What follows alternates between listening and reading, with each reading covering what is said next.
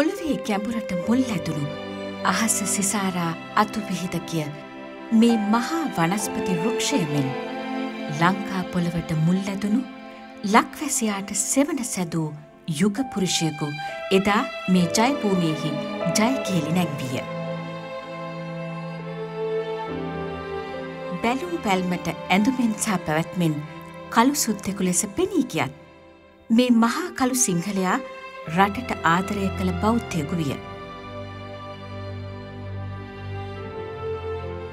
පරකැති සිරිත් අනුගමනය කරන්නකුසේ විරුද්ධවාදීන්ගේ ගැරහුමට ලක්වුවත් සර්ජෝන් කොතලාවලගේ ආදර්ශ පාටය වූයේ සිය රටටමයි කවදත් යන්නය.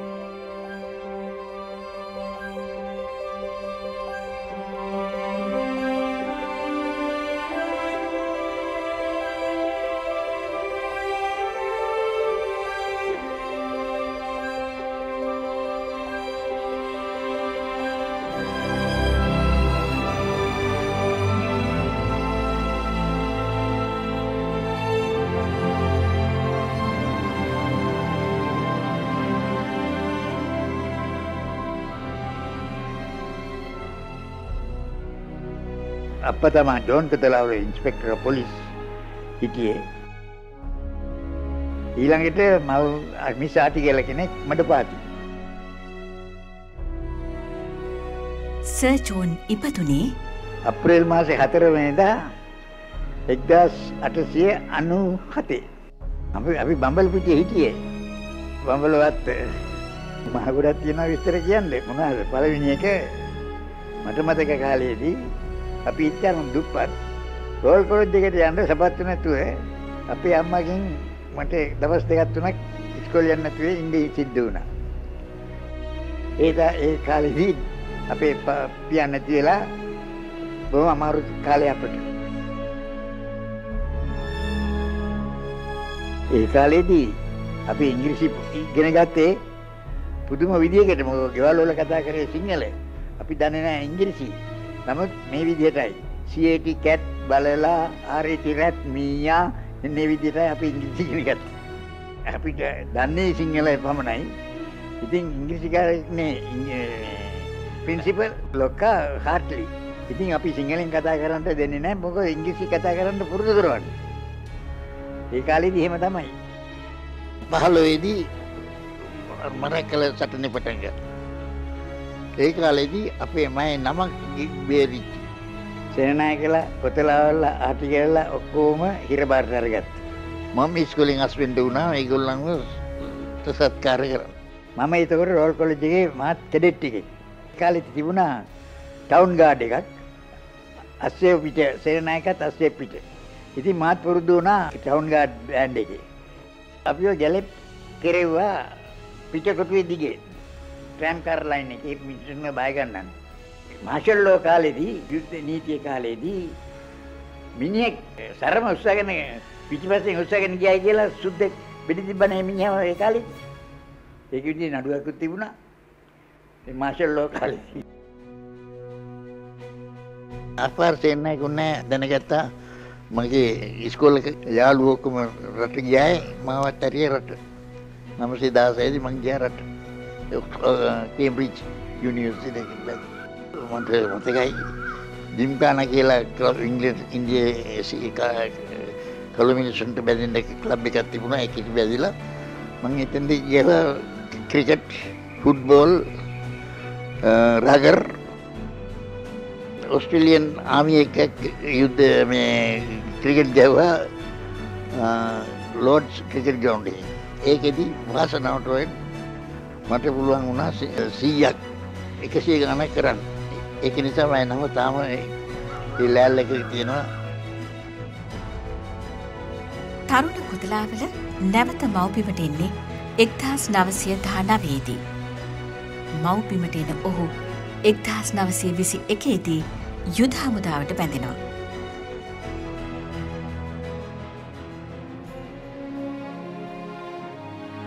ගිය සේනායක නැහැ නමසේ විසි හතරෙදී ලෙජි ලෙජිස්ටටිව් කවුන්සලට එදිරිපත් වුණා. එතකොට මං සියසේනායක මහත්තයත් එක්ක වැඩ කරේ. සේනායක එපර් සේනායක දියස් සේනායක මම වතුපච්චු බලාගෙන කටයුතු කළා. ඒකෙදී එතෙන්දි තමයි මට මේ දේශපාලනයට බහිඳ සිද්ධ වුණේ. කුරුණෑගල අසලේ කියන්නේ මහෝ හිටන් එක කොනක් මාහෝ අනිත් එක පොල්ගහල් එච්චරට ලොකුයි. කලින් සොයිසා තමා ඉති අන්තිමට ගෝමස් කියලා තව කෙනෙක් තව විනයි. ඒක මගේදී අත්තරුණා කොලින් සොයිසයි මායි තමා තරක කළේ. මම දා දහකින් පැරද්දුවයි මිනිහා. 931 දී තමයි මං මෙම්බර් හැටියට ස්ටේට් කවුන්සිල් එකට එන්න සිද්ධ වුණේ. මම පළවෙනි කතාව මං කතා කතා කරන්න ගිය වෙලාවේදී හන්ද ව්‍යාපාරයේ රැස්වීමට ඉන්නේ 12 දෙනයි. ඊට පස්සේ තමයි දවසෙන් දවස දවසෙන් දවස වැඩි වෙනවා.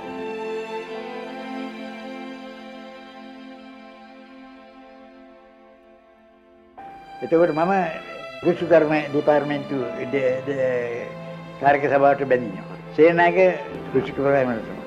සේනායක එංගලන්තයට ගිය වෙලාවේදී මං වැඩ බලන ඇමතිවරයා වුණා මට එතකොට වයස 30 ගානයි.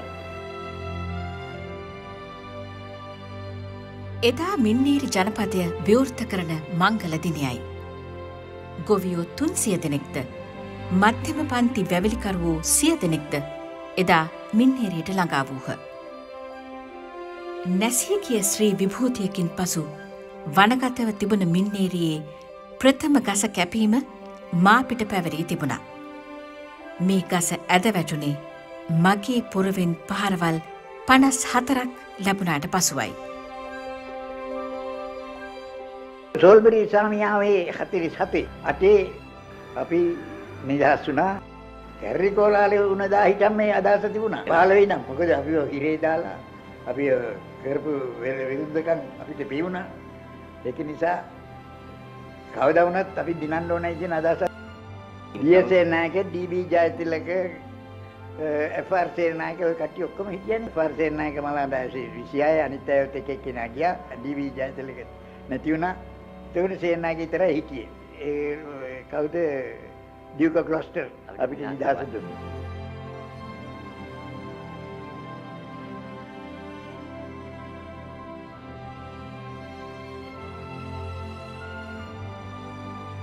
ඩීස් සේනනායක අග්‍රාමාත්‍යතුමාගේ ඇමති මණ්ඩලයේ සිටි තරුණ ඇමතිවරයෙකු ලෙස කොතලාවල මහතා වෙත පැවරුණු වඩාත් භාරදූරකාර්ය වූයේ ලක්ෂපාන ජලවිදුලි බලාගාරයයි. සර්ජෝන් මෙසේ කීවේය. මහ පැරකුම්බා රජු මහපොළොවට වැටෙන සෑම තියබිඳුවක් කුම්ඹුරට හරවා මිස සයුරට යා නොදිය යුතුයයි කීවේය. එය අද මදක් වෙනස්කොට ඒ සෑම දියබිඳුවක්ම ජලවිතුලිය නිපතවීම සඳහා ටර්බයින් යන්ත්‍ර වෙත හැරවිය යුතුව ඇත. එකී ජලවිතුලි ව්‍යාපෘතිය දේශීය ඉංජිනේරු සිරිල් විමල සුරේන්ද්‍ර මහතාගේ අධීක්ෂණයෙන් අවසන් කිරීමෙන් තරුණ ඇමතිවරයාගේ අගය රටට පැහැදිලි වුණේය. එහි ප්‍රතිඵලය වර්තමානය දක්වා මෙරට ජනතාවට ආශිර්වාදයක් වී ඇත. එක්දහස් නවසය පනස් හත්‍ර වර්ෂයේදී ශ්‍රීපතස්ථානයට විදුලි ආලෝකය ලබාදීම සර්ජෝන් කොතලාවල මහතා උරදුන් තවත් දුෂ්කර ව්‍යාපෘතියක් විය.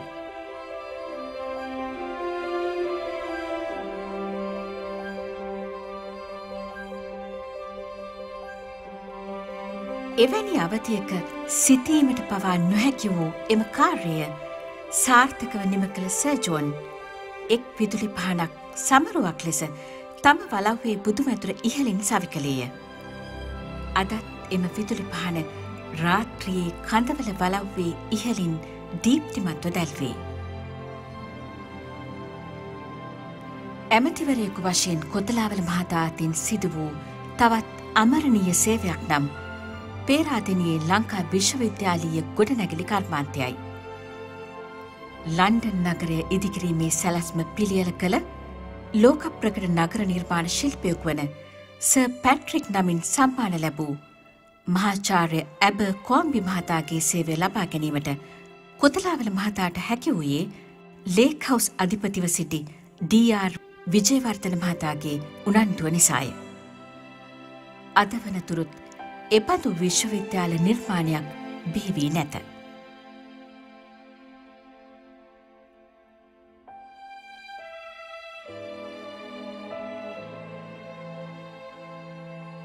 හොඳ ක්‍රීඩාලෝලියෙකු මෙන්ම සංගීත රසිකයෙකු වශයෙන්ද සර්ජෝන් කොතලාවල මහතා ප්‍රසිද්ධය. එක්දහස් නවසය හතලියේදී සන්නිවේදන කටයුතු භාර ඇමති වශයෙන් ඔහු ජාතික වශයෙන් වැදගත් මෙහෙවරක් ඉටු කළේය. ජනකී ජනකතා සංරක්ෂණය සඳහා වූ දීපව්‍යාප්ත වැඩස්ටහන ඉන් එකකි.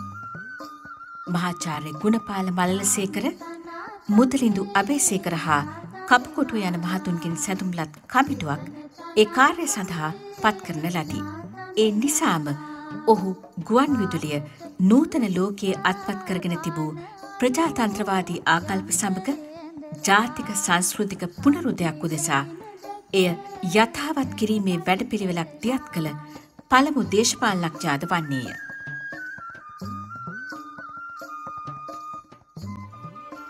එක්දහස් නවසය පනස්තුනේදී අග්‍රාමාත්‍ය පදවයට පත් වූ නිදහසින් පසුව ලංකාවට ජාත්‍යන්තර දේශපාලනයේ වැදගත් තැනක් හිමිකරදුන් ප්‍රථම දේශපාලනඥා සර්ජෝන් කොතලාවලයි. කොතලාවල මහතා අග්නිතිකාසියානු අගමතිවරුන්ගේ රැස්වීමක් පැවැත්විය යුතුයයි අදහස් කළේ ඉන්දියාව ලංකාව බුරුමය පාකිස්ථානය ඉන්දුනීසියාවාදී රටවලට නිදහස ලැබීමෙන් පසුව ආසියාවේ ඇතිව තිබූ නව දේශපාලන වාතාවරණය සැලකිල්ලට ගනිමිනි. දෙවන ලෝකයුත්තයෙන් පසුව නිදහසලද මේ රටවල් සංස්කෘතික වශයෙන්ද ආර්ථික සමාජ හා දේශපාලන ප්‍රශ්නවලින්ද එක සමාන විය. මෙම එකතුව පසුකාලයකදී බැන්ඩුන් සම්මේල්නයටද මඟ පැතුවේය. අග්‍රාමාත්‍ය සර්ජෝන් කොතලාවල එම සම්මෙල්ලේදී මහත් ආන්දෝලනාත්මක ප්‍රකාශයක් කළේය. මෙහි සිටින අප සියලු දෙනාම අධිරාජ්‍ය විරෝධීන් යයි සිතමි. මෙය සතුටට කාරණයකි. ඒත් අප කවර තරාතිරමක හෝ අධිරාජ්‍යවාදයක් නුරුස්සන හැම අධිරාජ්‍යවාදයකටම විරුද්ධව නැගී සිටින කොටසක් බව ඒකමතිකව ලොවට කියා පෑ යුතුය. එපමණක් නොව ලෝකයේ කවර ප්‍රදේශයක හෝ දක්නට ලැබෙන කවර වර්ගයක හෝ අධිරාජ්‍යවාද නැතිකිරීමට එකහෙලා ඉදිරිපත්වන බව උත්හඩින් ප්‍රකාශ කළ යුතුය.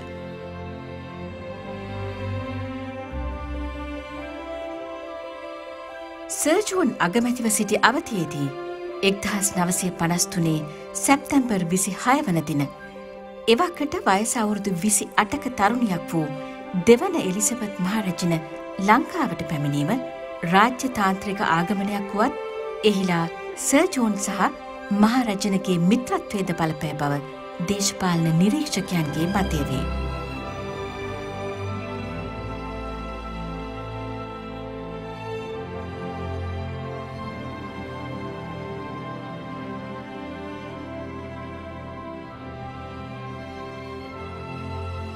පොඩි කාලේ මම ඉස්කෝල යන කාරීටම එතුමාව දන්නවා. අපේ දෙමව්පිය හිටියේ මෙහෙ. ඒ වත්තේ. මම ඉපදුනෙත් මේ වත්තේ. හැදෙන මෙහෙට ෆැමිලියා. ෆැමිලියා ලොකු උත්සවයක් තිබ්බා. ඒතකොට එඩින්බරෝ ආදිපාදතුමා ඔක්කොම මෙහෙ ඇවිදilla හොන්දට මේ මේ ප්‍රීති වෙලා නටලා එහෙම තමයි ගියේ. එතුමා එංගලන්තේ යන කාලේ එංගලන්තේ හිටපු කාලෙට ඒ යාළුකම තිබුණා. යාළුකම තිබුණා කියන්නේ මේ හොඳ මිත්‍රත්වයක් තිබුණා. ඒකේ මං හිතන්නේ නෑ මේ මේ වැඩි වෙනසක් ඇති කියලා. අර ප්‍රසිද්ධ ඉදින් තියෙනවනේ අර රජිනිගේ ගවමෝඩ ගිය වෙලාවේ සීගිරි ඒ වෙලාවේ මේ ෆොටෝ ගන්න කියලා ෆොටෝග්‍රාෆර් කෙනෙක් කෑ ගැහුවානේ ගනින් මිනිහ ෆොටෝ මේ වගේ chance එකක් හම්බෙන්නේ නැහැ කියලා.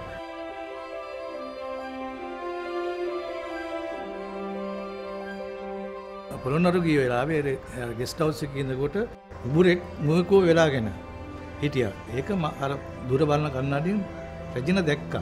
ඒකල කිව්වා සර්ජන්ට කිව්වා අර බලපන් මේ උඹුරෙක් මෙහෙම කරන්න කියලා. ඒක එතකොට සර්ජන් හිටියේ රජිනට කුඩේ අල්ලගෙන. රැජින උඩිය අතට අරගෙන සර්ජෝන්ට අල්ලලා අර කන්නඩිය දුන්නා මෙයාට බලන්න. එතකොට අර කුඩේ තමයි රැජින මෙයාට ඇල්ලුවේ. කොතලන් මහත්තයාට. ඒ වගේ මේ රැජිනත් එක්ක කොහොම ළඟ සම්බන්ධයක් තිබුණා.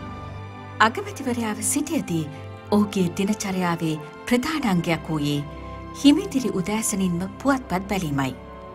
එහිනුත් ඔහු වඩාත් උනන්දුවක් දැක්වූයේ තමා එල්ලකොට ජස් ප්‍රනාන්ටු හා ඕබ්‍රි කොලෙට් විසින් අඳින විකට කාටුවන් බැලීමයි.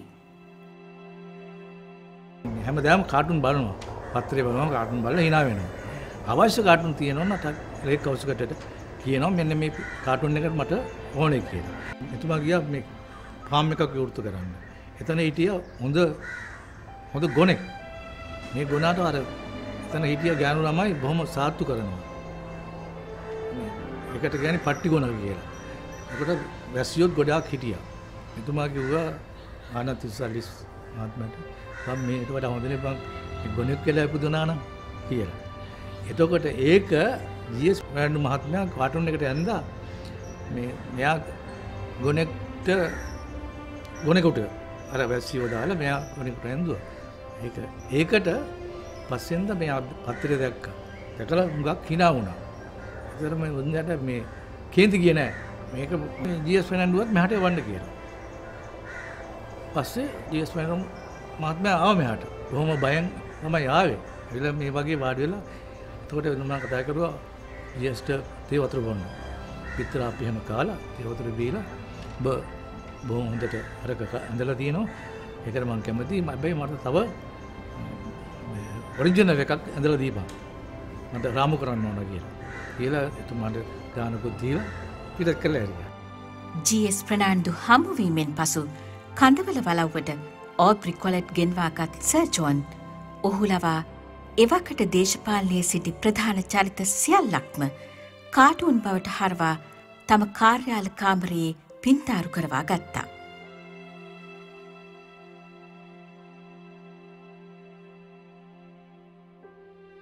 නිදහස ලබා ගැනීමේදී මෙන්ම ඉන් පසුවත් තම මවබිම තුළ ජාති කුල ආගම් යනුවෙන් බෙදී වෙන්වීම සර්ජෝන් තරයේම ප්‍රතික්ෂේප කළා. ඔහු නිතරම කියා සිටියේ අධිරාජවාදයෙන් ලැබූ නිදහසේ උපරිමය ලබා ගැනීමට නම් අප සැවුම එකාමෙන් සිටිය යුතු බවයි.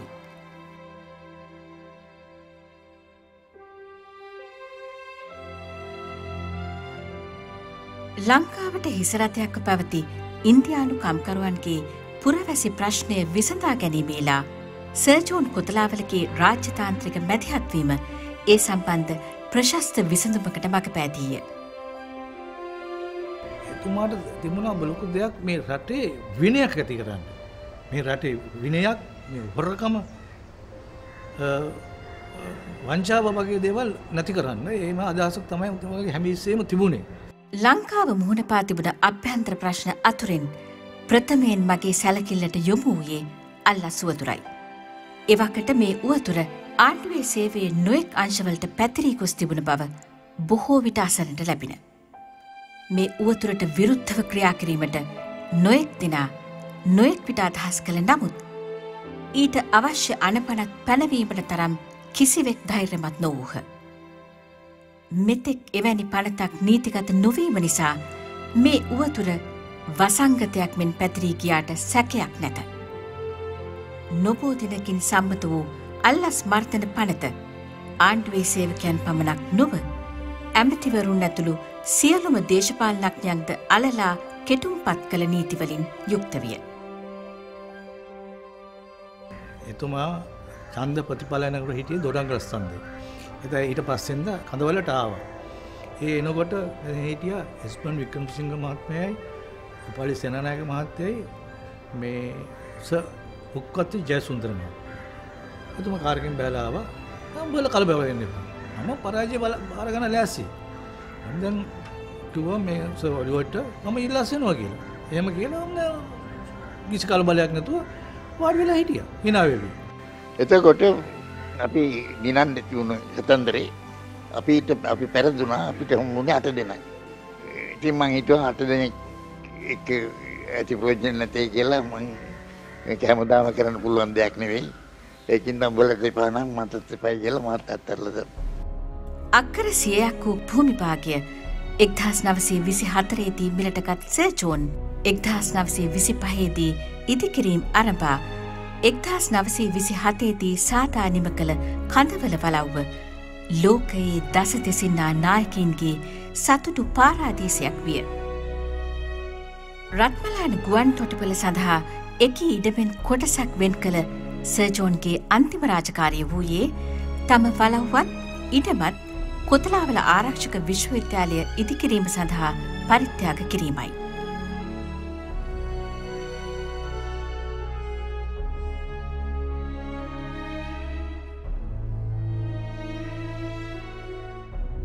එතුමාගේ දුරදර්ශය ක්‍රියාව අද මුළු රටක් ලෝකයක් අගේ කරන මහා විශාල මහා විශාල ආයතනයක් බඩ පත්වලා. මේක ඇදෙහේ නොහැකි ආකාරයට දියුණු වුණා. මේ එතුමා කරපු මේ පරිත්‍යාගය අද රටට වටිනා දෙයක් බවට පත් වුණා. මම දකින අනිද්දේ තමයි එතුමාගේ තිබිච්ච විනීත භාවය සහ එතුමාගේ තිබිච්ච ඍජුභාවය මේ ඍජුභාවය සහ විනීතභාවය අපේ මේ ඉන්න පුහුණුවන හමුදා නිලධාරෙන් ශිෂ්‍ය බටයෙන් සමකම අනිකුත් අය ඒ පිළිබඳ ආභාෂයෙන් සහ දැකීම් ඒ සම්බන්ධ කරුණු කාරණාව සමග මේගොල්ලන්ගේ මුසුවීම් තුළ ඒගොල්ලන්ගේ ආත්මයන් තුළට විශේෂ ශක්තියක් ලැබිලා තිනවා. මම දකිනවා ඒගොල්ලෝ ගාව අනිත් කිසිම කෙනෙක් ගාව නැති විශේෂ විනීත භාවය ඒගොල්ලෝ ගාව රැඳිලා තිනවා. ඩිසිප්ලින් ඉංග්‍රීසියෙන් සිංහලෙන් විනය. විනය තමා ඔක්කොට වඩා ඕඩ කොන්න එක ළමෙක් උසස් ගෙනියන්න. පොඩි කාලේ හිටම පුරුදු කරන්න ඕන විනය. දැන් පන්සල් වල තියෙන විනය හරියට කරගන්න නැත්නම් පන්සල විනාශ වෙනවා. ඒ වගේම රටත් විනාශ වෙනවා විනය නැත්නම් හරියට පිළිවෙල කළේ නැත්තම්. ඒක නිසා තමයි මං කල්පනා කළේ යුද්ධාමුදාවේ ඉන්න සොල්දාදියෝ තුන් කට්ටියම පොඩි රටවල් වලට ඇරලා විනය පුරුදු කරන්නේ නැතුව අපේ රටේම විනය පුරුදු කරන්න ක්‍රමයක දෙන එකයි මං කල්පනා කළේ මේ කඳවලවත් මං ඒක දුන්නේ ඒකට. මේ ඉන්න ස්කොලර්ස් අට කියන්නේ මේ තරුණ තරුණයට ඉගෙන ගන්නට හැම කෙනෙකුට කියන්නේ මම ඉන්න කාල නොතිබිච්ච දේවල් අද ඔගුළු ගව තියෙනවා දක්නට මට පුදුම ආඩම්බරය සතුටක් ලැබෙන්නේ. ඒක මහා පුදුම දෙයක් සමහරවෙලාට අපි නොහිතුවට ඒ කාලේ ජනරල් ශ්‍රීමත් ජනරල් කොතලාවල මැතිතුමා මේ ගැන හිතන්න ඇති එතුමාට එක තේරෙන් නැති. මං හිතන්නේ අද එතුම ඉතාමත්ම සතුරේ යම් එතුමාට අද දවස ජීවත් වෙනවනම් එතුමා පුදුම වෙයි. සමරට මේ දේ එතුමගේ හිතේ තියෙන්න්නත් ඇති. ලෝකයේ දියුණුවත් එක්ක මේ වගේ වටනාකම් එකතු වෙලා නව තාක්ෂණය සහ වටනාකම් වලින් විනීත පරපුරක් සිසු පරපුරක් එලියට එන එක ඇත්තරම මේ සර්ජොන් විශ්වවිද්‍යාලය තුළ කොතලාවල් විශ්වවිද්‍යාලය තුළ දකින දේ හර්ම සුන්දරයි හර්ම පුදුම. ශක්තිවන්ත කෙලින් වැඩ කරපු ඉතාමතු වටනා මනුස්ස. මහා උත්තම පුරුෂය. මේ අපූර්වතම විනයකරුක සොඳුරු මිනිසා තුළ බොහෝ දෙනා නොදන්නා කවියකුද සැඟවී සිටිය. කවියක් කියන්න ඕන දෙකක් මැනලා දුන්නට අම්මාට මමත් දුන්දට ඔහොම දෙනවා අවුරුද්ධකට කවදත් ඔහොම තමයි උන්දගේ සටකපට උඹසිත්කෝප නොවී ඩාලින් පලයන්ගෙට සර්ජෝන් ශ්‍රී ලංකා ගුවන් විදුලිය සංස්ථාව සමඟ පැවැත් වූ අවසන් සම්මක සාකච්ඡාව. මේ උදාරතර විනයකරුක සොඳුරු මිනිසා තුළ ජීවත් වූ අව්‍යාජ අහිංසක ගැමියා පිටතට පැමිණි අවස්ථාවක් ලෙස පෙන්වා දෙනට පුළුවන්. සාකච්ඡාව අවසානයේදී සමන් අතාවුද හෙට්ටිගේ ප්‍රශ්නය වුණේ මේ දිනවල ජීවිතය සන්ධ්‍යා සමය ගත කරමින් සිටින ඔබ මොනවද බලාපොරොත්තු වෙන්නේ. බලාපොරොත්තු දිව ලෝකට යන්න ළඟදී